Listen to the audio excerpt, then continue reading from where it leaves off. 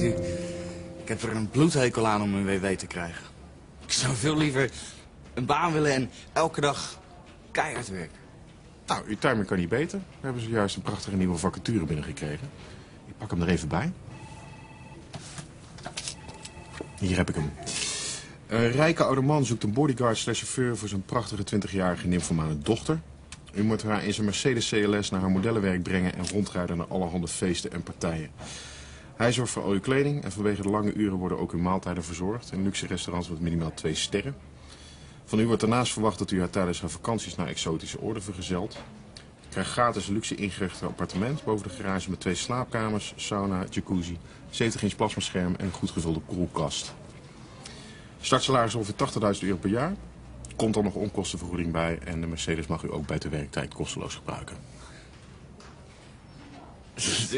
De zaak. Ja, maar u begon.